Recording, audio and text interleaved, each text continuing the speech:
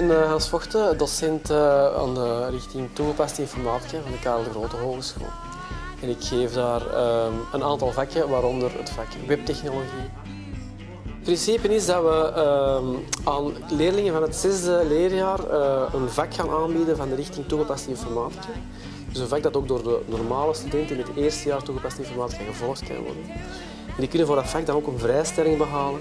En dus dat maakt voor hen een instap in de richting toegepaste informatica iets eenvoudiger. Dat contactmoment dat we hier doen, dat is anderhalf uur. We zijn de eerste les langs gekomen.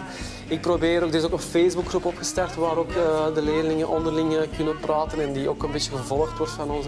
Dus we, we zoeken, dat is eigenlijk hetgeen dat ze blended noemen. We zoeken zoveel mogelijk onderwijstechnieken, een mix van technieken, om eigenlijk die klassituatie na te bootsen. We proberen om het voor hen zo eenvoudig mogelijk te maken om het vak te volgen.